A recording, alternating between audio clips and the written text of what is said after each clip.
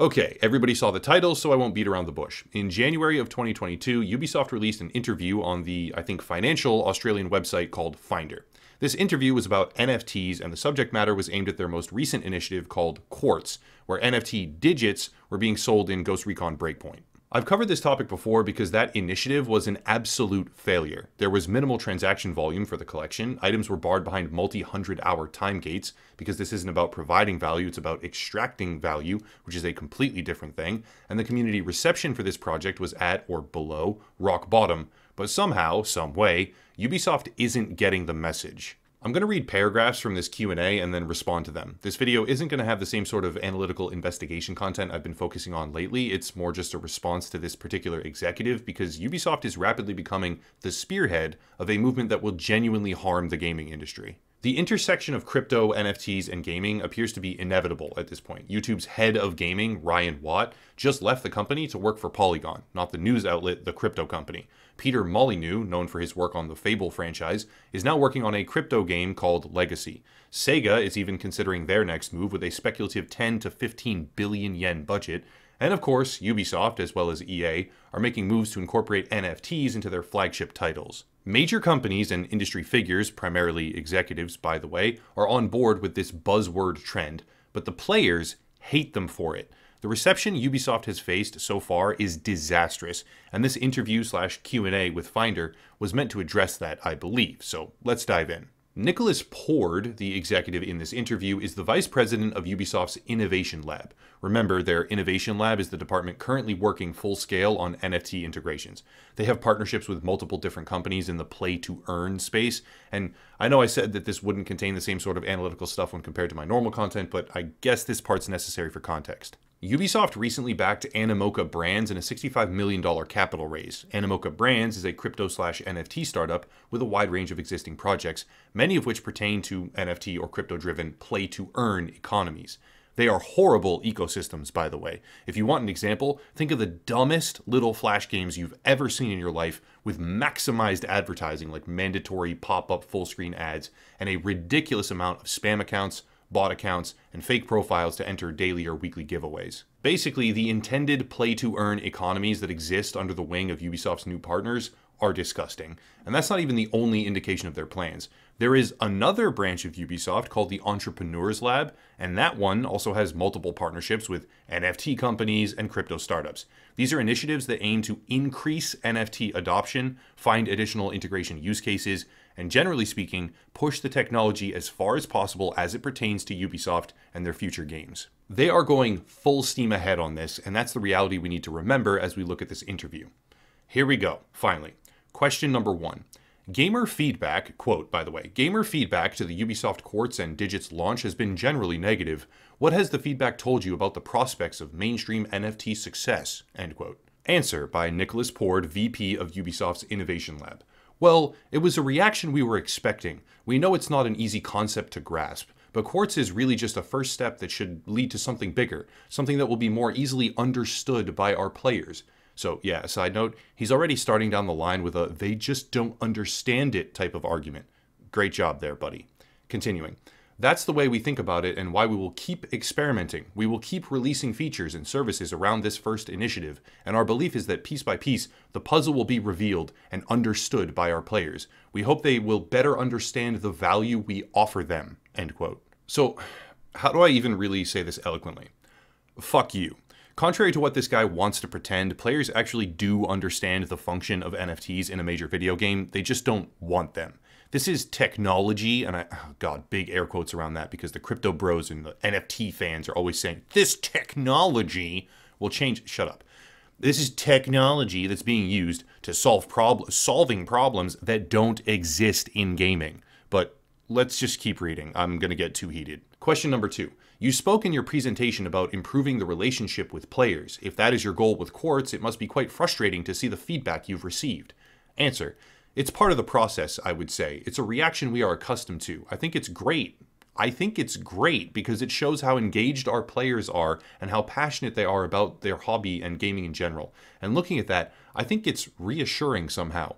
It shows that our players love what we do and love Ubisoft's ability to offer good games, so that's cool. I don't really know what to say right now. That's almost delusional. The overwhelmingly negative feedback is actually good and proves that we should keep doing it because it somehow shows that people love our games.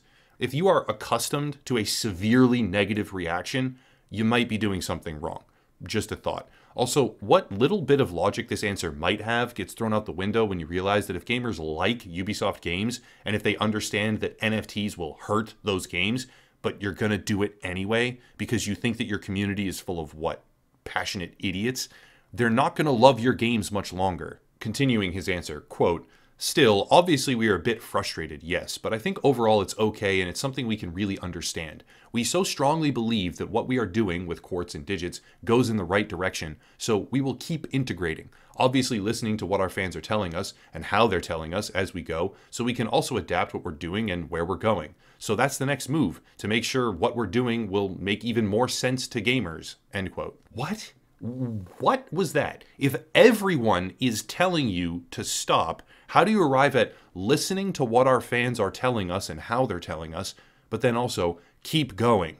They are telling you to stop. They aren't saying we love the tech and the functionality and the use cases in the future. They're saying we hate this, every aspect of it. It makes no sense. It's unnecessary, and we do not want it to exist in the games. That is not synonymous with make a few tweaks and keep on trucking along there, guy. This dude is honestly special. One more. We don't need all of it because you'll pretty firmly get the point after this one, and it's a lot of repetitive bullshit anyway. Question number three.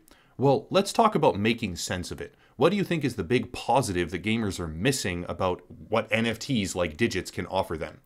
Answer, quote, I think gamers don't get what a digital secondary market can bring to them. For now, because of the current situation and context of NFTs, gamers really believe it's first destroying the planet, and second, just a tool for speculation. But what we at Ubisoft are seeing first is the end game. The end game is about giving players the opportunity to resell their items once they're finished with them or they're finished playing the game itself. Now, the best part, really, truly. All right, here we go. Quote.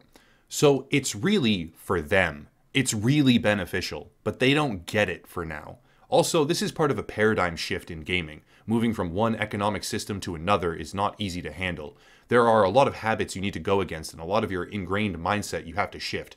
It takes time. We know that. End quote. Here's where the mirror just completely shatters. Mask off, no pretense. Gamers don't get it. This is actually beneficial to them. We know better than all of our community, but they don't understand. He talks about the value of resale or secondhand markets and literally says that gamers don't get what a digital secondary market can bring to them. Okay, well, why can't we resell our copy of Assassin's Creed on Uplay? Publishers like Ubisoft go to great lengths to mitigate the existence of a digital secondary market. But now they suddenly want one? Yes, they absolutely want one, but the reason that they want one is actually very different than providing player value. The real reason is because a crypto focused in game market or economy allows them to extract significantly more money from their user base. In game auction houses and peer to peer trading is not new. Nothing about that functionality requires NFTs, it's existed for a very long time. Literally nothing needs NFTs, but when you turn your items into a store of value, of literal value, and then allow exchanges to take place between players for purchase and sale, you can harvest transaction fees. Not only is it a brand new flavor of the month way to jack up prices, fueled by terminology such as ownership and unique, it's a way to create additional publisher income. Let me explain. CSGO, Counter Strike Global Offensive, has a massive in game economy because weapon skins are worth real money. Facilitated by Steam, these weapon skins are responsible for a multi billion dollar digital economy, and Ubisoft, if they are able to actually pull this off, would be able to create their own version of this, to a degree. The thing is, get this, CSGO has had that economy for years. They didn't need NFTs. No one needs NFTs. NFTs are a completely useless thing in their current form and might offer some value for proof of ownership in particular industries, like in sporting events or even some kind of application in the medical industry or field, but not for gaming. Every time the players buy and sell their NFTs on the marketplace, Ubisoft would get a cut of the revenue. They would be able to pit players against each other with exclusivity to drive prices through the roof. And absolutely none of this requires NFTs at all. It's just the current catalyst behind their push to expand microtransaction revenue. If they cared about creating secondary markets and ownership, they would let you buy and sell the game that you bought. If they actually cared about increasing player value, they could easily offer exclusive items and then put price tags on them with peer to peer trading and a cash out option. They don't need NFTs for that, they never have, but they can't actually do it because of existing regulations.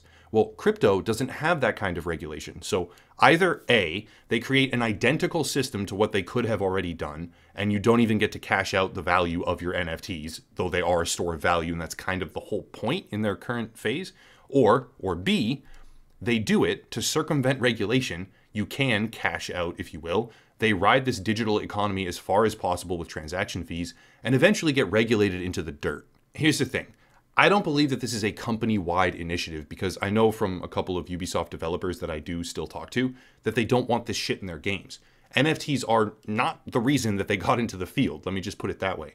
I recognize that many of the actual creatives at the company are not advocating for this trash, so I wanted to take a moment and clarify the title. Ubisoft as a corporate entity is absolute trash right now. Their executive team, their decision making process for spearheading new projects, all of it. But their creative departments, they do some great work, and I don't believe that the greedy failures of management should be universally applied to all employees. I'm probably burning a bridge here, to be honest. I've been to the Ubisoft lounge at E3. A bunch of my close friends from the beginning of Upper Echelon have been star players for them, gotten free trips out of it, uh, etc., etc. And I've even gone out to one of their studios to literally help fix one of their games. I understand that I will burn a very real bridge, a very valuable bridge with this title and this video if I haven't already, but I will never support Ubisoft again if they push forward with this endeavor. No one wants this, at least not any legitimate like gaming enthusiasts. Maybe the the idiot crypto bros and the NFT fans that don't even play video games for long enough to unlock any of the exclusive items, maybe they want this, but no one cares what they want. What they want is irrelevant. They shouldn't even have a voice in the discussion. And unless we start to say it with sufficient force and impact, they clearly are not going to get the message. Ubisoft is honestly speedrunning the destruction of their own reputation right now, and I'm not even surprised. It, I just I can't say I'm surprised. At the very least, put a smarter talking head on stage for the interviews because at this point you are a complete joke of a company. Gamers don't get it. No, they get it. They just hate it. And all you are going to do is add fuel to the dumpster fire if you keep on going. That's it. Ubisoft is now my personal pick for the worst gaming industry publisher, bar none. Congratulations. If you want to support, there are links down below. I'm trying to move away from YouTube AdSense, so Patreon or Locals if you have any interest. Also, Odysee, which is a YouTube platform alternative where all my content can be found. Another creator to check out, merchandise, social media, all of it is linked down below, all that stuff, etc., etc. But I'll cut it there and stop rambling. As always, thank you all for watching and have a nice night.